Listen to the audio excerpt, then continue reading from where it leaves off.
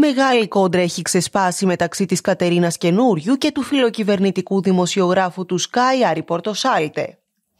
Μετά τα όσα του καταλόγησε η ξανθιά παρουσιάστρια, ο Άρης Πορτοσάλτε προχώρησε σε δηλώσεις με τις οποίες ούτε λίγο ούτε πολύ θεωρεί πως ασκείται βία εναντίον του. Προφανώς έχει ξεχάσει πως ο ίδιος έχει προκαλέσει βία κατά των θυμάτων του εγκλήματος των τεμπών με τη φράση του «χρειάζονται θυσίες για να βελτιωθούμε».